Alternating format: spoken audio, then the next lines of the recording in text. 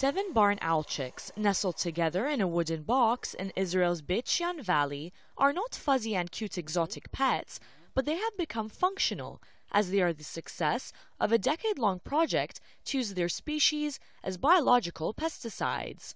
In 2002, Jordanian and Israeli farmers wanted to end the use of poisons and toxic pest controls, but still needed a way to safeguard their products from rats and mice. The farmers, along with Israel's Society for the Protection of Nature and Jordan's General Mansour Abu Rashid, began placing nesting boxes where the barn owls would breed in, up to 2,600 boxes in fields on the Israeli side of the border, 100 of which are used by Jordanian farmers.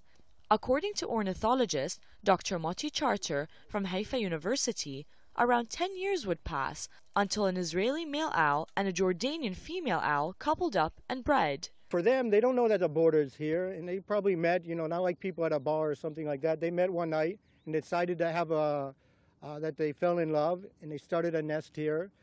And, and that's uh, the whole the whole concept is is that you know for them it doesn't matter if it's Jordanian or Israeli they're barn owls. And it's for us, it's a great success story because it shows because of the Jordanians started thinking differently, started using the barn owls, they succeeded. Beit Valley is home to the world's largest population of barn owls.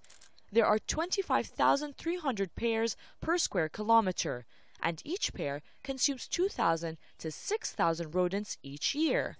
The Israeli Jordanian project promotes the replacement of pesticides with the owls, which in turn decreased chemical damage to the environment as well as conserve the natural habitat.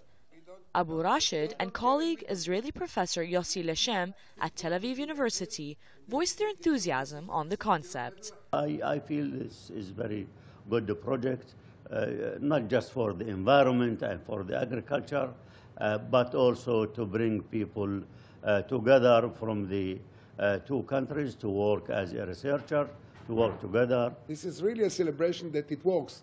And some people already asked me, Yossi, what will happen? How will be the chicks? They'll be Muslim or Jewish? I told them they don't give a damn on this.